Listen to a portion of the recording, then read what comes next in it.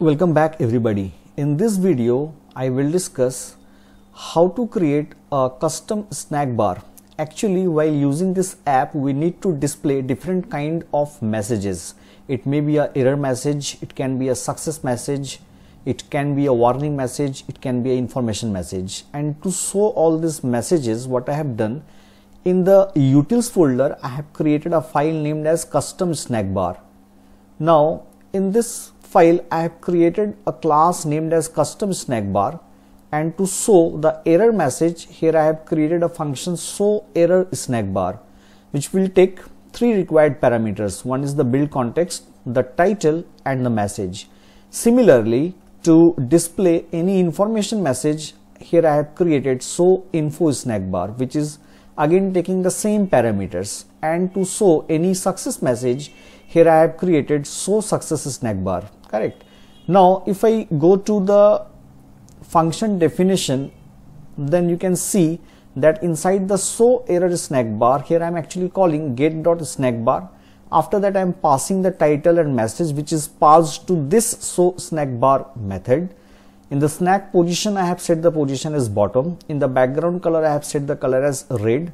In the title text here I have used the style as theme dot of get dot context dot text theme. This means in the text theme which I have discussed in the previous video this title large will be used and in the font size I have used 16 font weight is bold and in the color I have passed app color dot white color.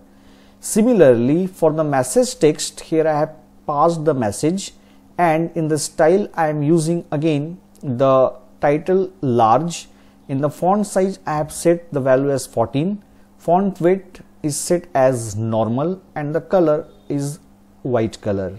Correct. The color text is white color border radius is 8 margin padding. If you want to know more about the snack bar then, then you can refer to my snack bar video. The link you can find in the description of this particular video. Correct.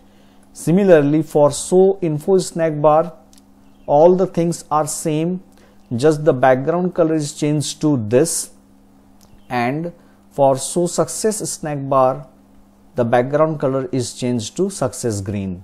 Now, wherever we need to display message in our app, we will simply call custom snack bar dot the show error snack bar or show info snack bar or show success snack bar. Okay. This is it for today's video we'll see you guys in the next video. If you have liked my video please subscribe to my channel. Thank you so much for watching